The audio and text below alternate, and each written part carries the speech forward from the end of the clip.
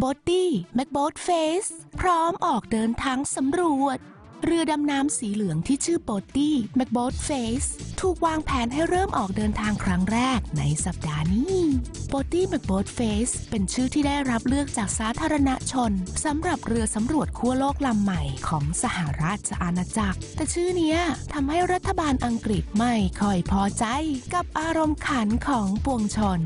เรือลำนี้จะเดินทางออกจากพุนตาอารีนาสในประเทศชิลี ไปบนเรือขั้วโลกของอังกฤษที่ชื่อ RRS James Clark Ross มุ่งหน้าสู่มหาสมุทรใต้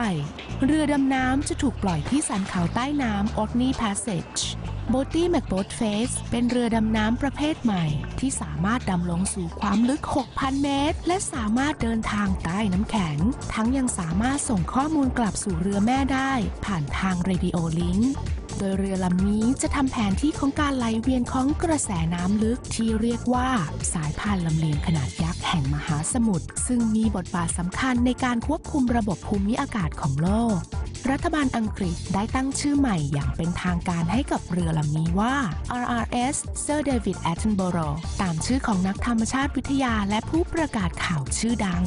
คาดว่าภารกิจครั้งนี้จะแล้วเสร็จในปี 2019